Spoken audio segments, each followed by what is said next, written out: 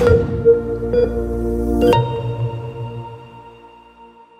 guys, this is Michal Pazderník from Prague ICU and today I will show you how to set up a multifiltrate CVVHD. First of all, let's get oriented in a multifiltrate machine. This machine has four pumps that are color-coded. Blood pump, red, filtrate pump, yellow, dialysate pump, green, and substitute pump, which is white. We have four pressure transducers. Red color-coded transducer port senses arterial pressure, white transducer port senses pre-filter, blue senses venous pressure, and yellow pressure transducer senses filtrate pressure. We have two warmers, dialysate warmer and substitute warmer. This machine has also some safety components. Air leak detector An air bubble detector prevents the infusion of air to the patient. Below is a venous tube clamp, which has two major functions. Firstly, it's opening and closing during priming in order to de-air the circuit. Secondly, it closes in case of air presence in the circuit, hence no air bubbles come to the patient. Below the venous tube clamp is an optical detector that distinguishes between types of fluids, blood or transparent fluid. Blood leak detector warns about possible blood leakage to prevent loss of blood following rupture of semipermeable membrane. This component has been designed to cease operations when blood is detected in the dialysate. Multifiltrate has four scales. This scale is used for dialysate bags, the second one is used for substitute bags, and the last scales are used to collect filtrate that comes from the patient's body.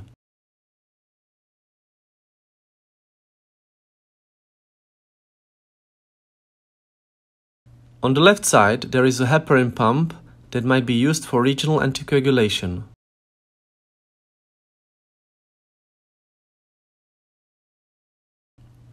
On the right side, you can find components for regional citrate anticoagulation, citrate drop counter, citrate pump, citrate insertion switch, calcium drop counter, calcium pump, and calcium insertion switch.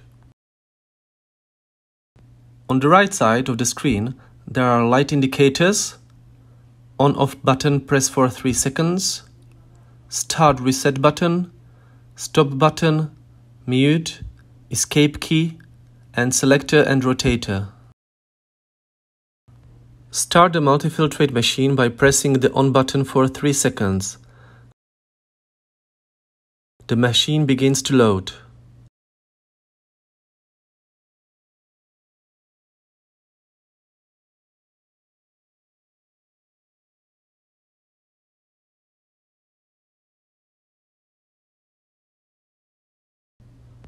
Then we just confirm the starting conditions are fulfilled.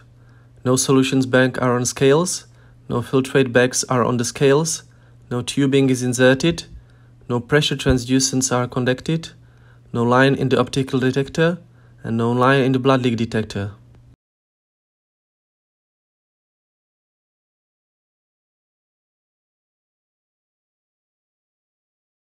Afterwards, we choose citrate anticoagulation, as in CVVHD, we preferably use citrate anticoagulation. Then we press Select New Treatment and choose the type of therapy. CVVHD is the most frequently used type of CRRT in ICU.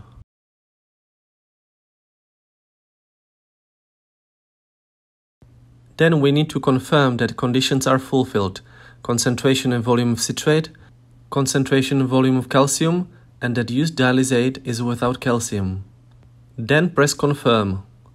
Before unpacking the filter kit, we prepare a liter of bag of saline, sodium citrate solution 1.5 liters 4%, solution of 60 milliliters of calcium chloride in 250 milliliters of saline, all calratia 100 millimoles per liter. The dialysis filter bag is attached to the bottom of the machine. In this case, we will use a bag with 5 liters of Ci-Ca dialysate, potassium 2 millimoles per liter, and calcium free. To make the bag ready for use, squeeze the bag in order to mix the solution of dialysate.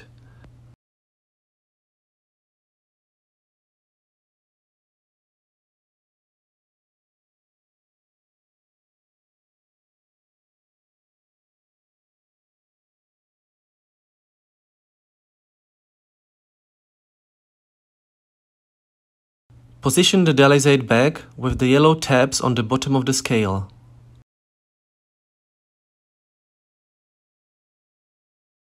To install the kit, just follow the instructions on the screen.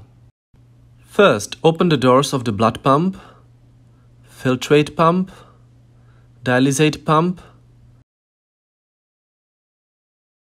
dialysate warmer, air detector, optical detector and blood leak detector. This is how the CVVHD kit looks like. Red tubing is for the blood pump, yellow tubing for filtrate pump. It also has two chambers, venous chamber and arterial chamber. Insert the venous bubble catcher into the air detector. Place the venous blood return line into the line clamp and the optical detector. Then close the optical detector. Slide the arterial, red, and filtrate pump segment adapter, yellow, fully into the blood and filtrate pump holders. Use the start reset and they will automatically load. Then we will close the door. Connect the four pressure transducers that are color-coded. Venous pressure port, blue to blue, before the filter pressure port, white to white, arterial pressure port,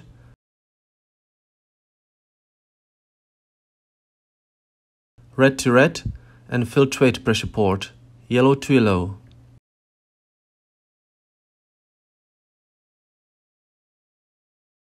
Mount the Ultraflux filter in its holder. We will use the Ultraflux AV1000S. Connect the arterial, venous and filtrate connectors to the filter. Red arterial end goes to the bottom of the filter.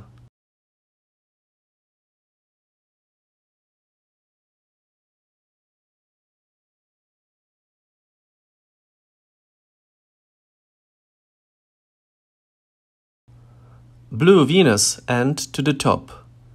Make sure it is screwed tightly.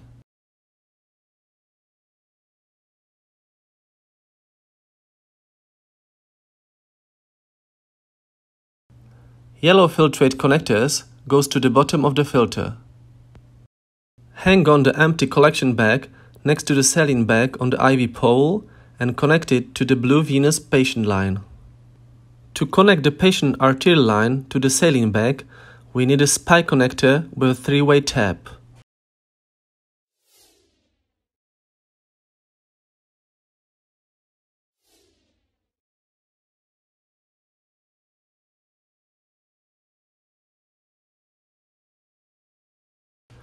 Leave both venous lines, blue and red clamped.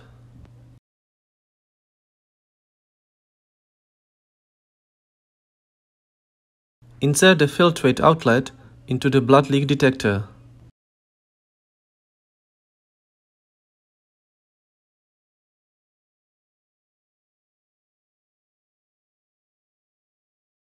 Connect the yellow filtrate port to the dialysis filter bag.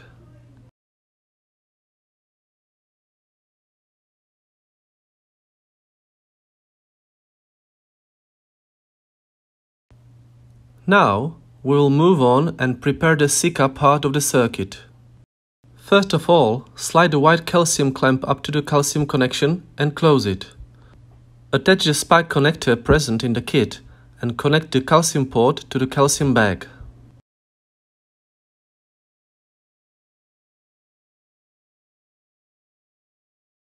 Similarly, slide a green clamp up to the citrate connection and close it. Connect the citrate port to the citrate bag.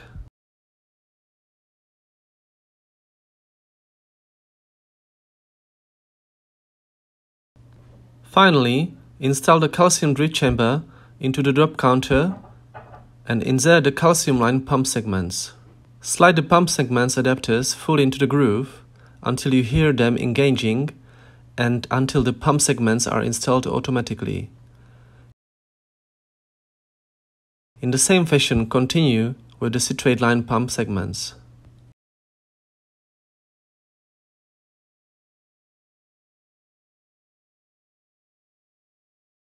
Now we proceed to a detailed dialysate tubing arrangement. This is a dialysate tubing which is also color-coded and is green. Open the dialysate pump door and slide the pump segment adapter, green color, into the groove. Press and hold the start button and it will load automatically. Then close the door. Place the heater bag into the dialysate heater and close the door. Connect the outlet line into the inlet port of the Ultraflux filter.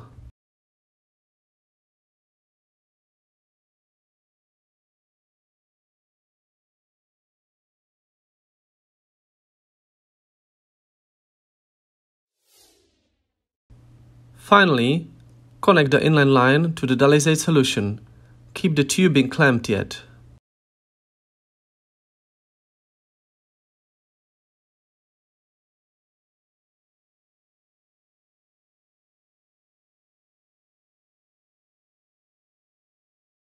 We proceed to the next step on the home screen.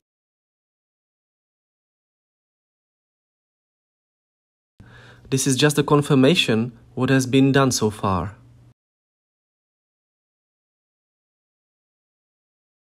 Then we press continue and we are navigated to break the Ci-Ca cones. We need to open Ci-Ca clamps and check the fill level of the drip chambers.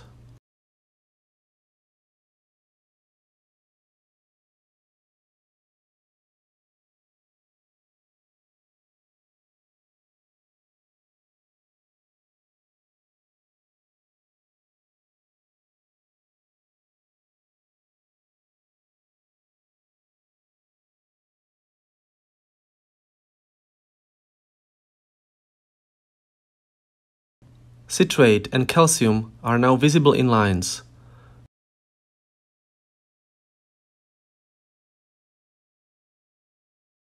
We just confirm that lines are free from air.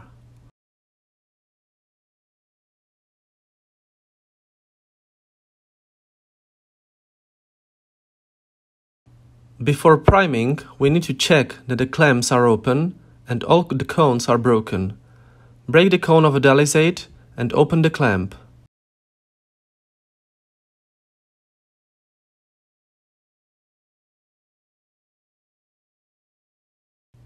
Unclamp also the blue and red patient lines to the filter.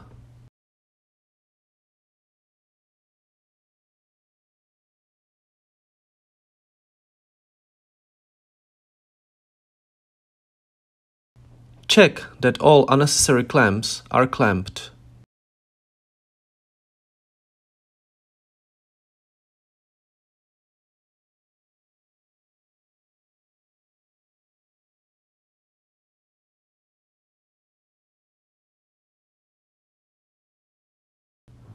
Press OK to start priming.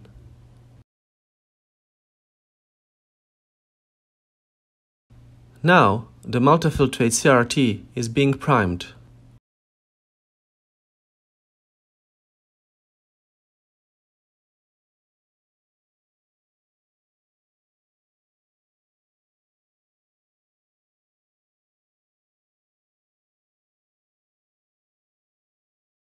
Raise the bubble chamber level to the ridge by pressing and holding the arrow up on the screen.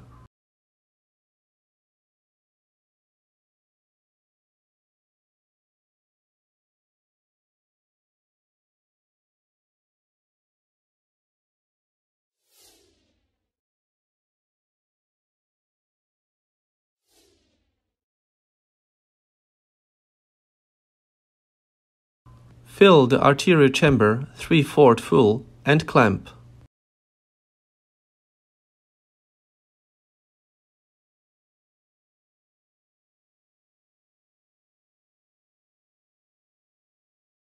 Finally, we need to perform rinse. We disconnect the venous line from the collecting bag and connect the blue port to the saline bag.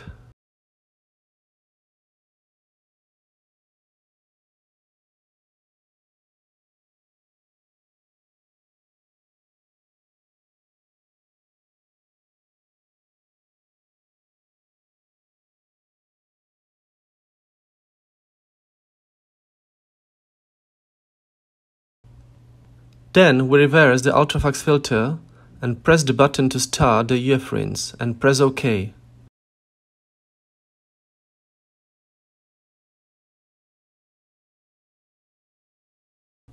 In about 6 minutes, put it back to normal position and you are ready to connect the CRRT to the patient.